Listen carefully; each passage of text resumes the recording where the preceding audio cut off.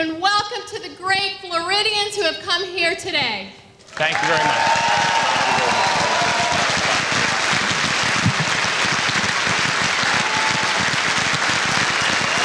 Thank you very much. You can sit down.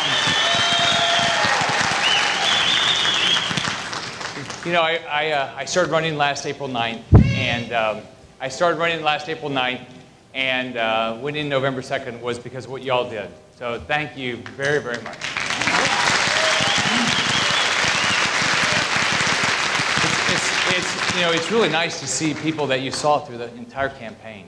Uh, when you, when, I'll tell you, when you run for, uh, for statewide office and you see people, it's a lot easier if you stay in the exact same place you saw them the first time. so, so you can re remember who they are and everything. But uh, the, uh, you know, there, uh, you see people that I have, we have a lot of pictures from the campaign. And so you see people out in the audience that you had your picture taken with because we've got all sorts of pictures back in our office. So it's really nice. So thank everybody for coming. Thank everybody for your interest in uh, our state budget. Thank everybody for your interest in Florida. So this is the, this is the greatest state, uh, and we're going to become the number one state for job creation. That's our job.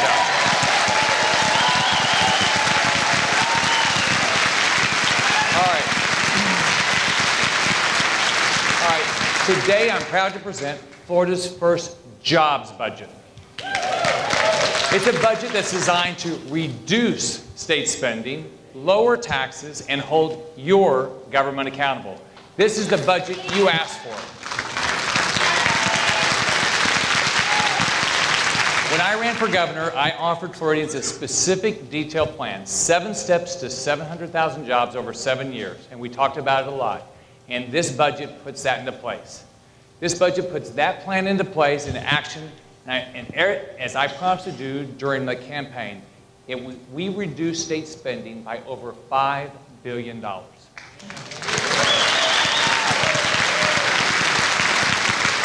And we return $2 billion directly to you, the taxpayers. $2 billion. I've been in business for 35 years, and I know the importance of, of focusing on clear goals. And this jobs budget is focused on clear, clear uh, goals. It's focused on the goal of shrinking government, reducing your taxes, creating private sector jobs, not more government jobs.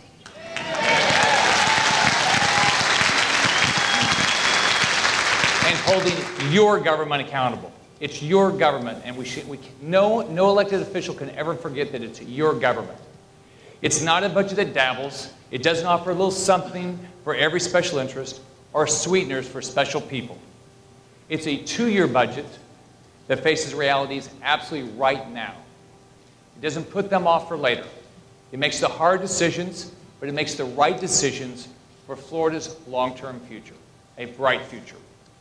The fact is the government has, has got to get back to its core functions, but only its core functions. And we,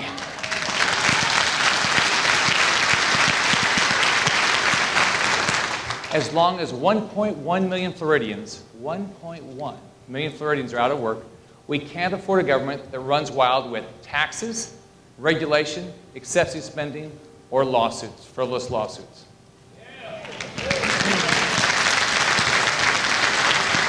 So reviewing a, reviewing a governmental budget is like going through the, an attic in an old home. You come across some priceless things that you need to protect, but there are a lot of odd things that you wonder about that someone once thought we needed. Much of it we've outgrown, and it just doesn't fit anymore. So after, over the last three months, I basically, I've spent a lot of time in that attic, and we're cleaning it out. We're getting rid of things.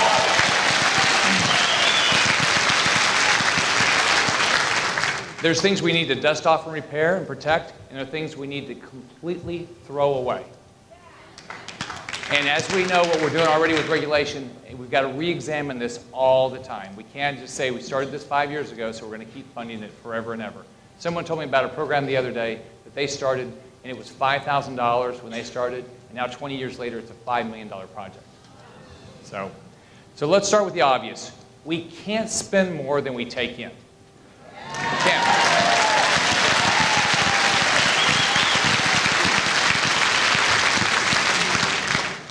we take in enough from hardworking Floridians? We don't need to be taking in anymore. As you know, over the last few years, Florida has accepted one-time handouts from the federal government, wrongly. Those temporary resources allowed our state and our local governments to spend way beyond their means. Think about it. That's like someone who wins the lottery thinking they're going to win it every year, so they're going to keep spending all the time. You know, you, you know if you win the lottery, you're not going to win it again next year, right? Well, that's the same with government spending. It just doesn't make sense. There was never any reason to think that Florida taxpayers could afford to continue that higher level of spending once the federal handouts were gone. The false expectation, expectations created by the federal handouts are the reason we're hearing about a, a multi-billion dollar deficit in our state budget.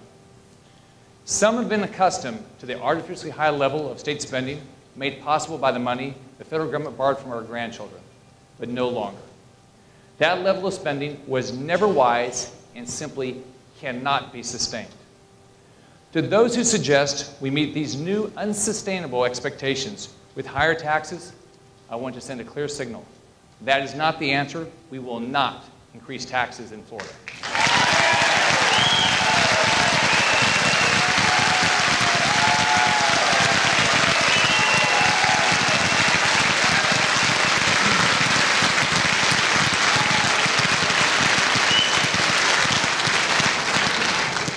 For the last four years, most Florida families and families across the country have had to learn to live with less at home.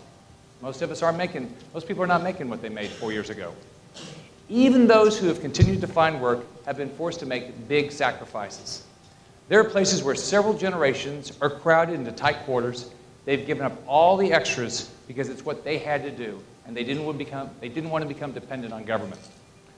Floridians shouldn't have to spend more of their money to Tallahassee to pay for non-essential government programs or solely fund the retirement programs of government employees.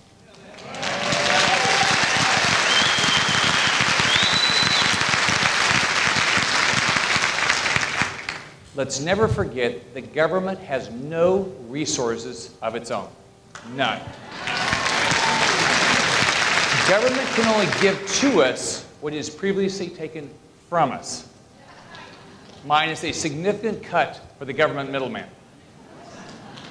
Now, this jobs budget reduces taxes for Florida taxpayers. It's going to energize the economy, and it's going to get Floridians back to work.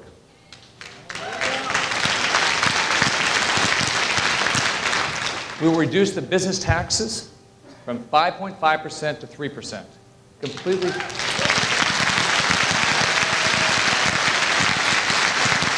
And we will completely phase it out by 2018.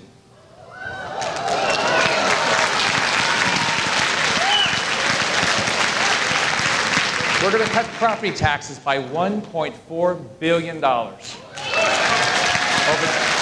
over the next two years. So together, we'll cut four, over $4 billion in taxes over the next two years without any cuts out of the state general revenue for education. Zero cuts out of state rev general revenue for education.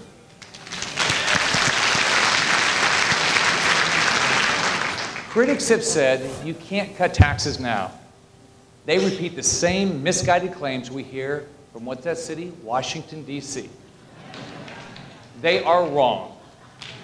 We will cut taxes now, and they should cut taxes now. Things are not going to improve until we figure out how to grow private sector jobs, not government jobs.